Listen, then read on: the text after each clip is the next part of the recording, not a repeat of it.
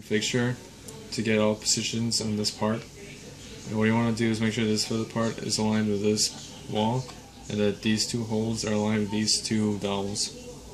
And place it in as so. And move the clamp to position. Clamp it down. And move the hole guide to position.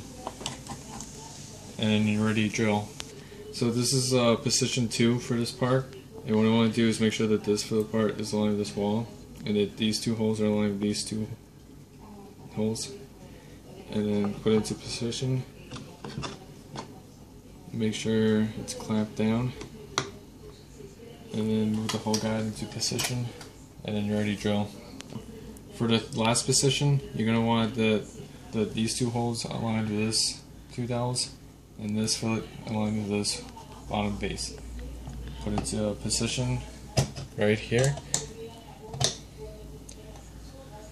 Move the hole guide into a position too before putting the clamp down. And then putting the clamp down. And then you're ready to drill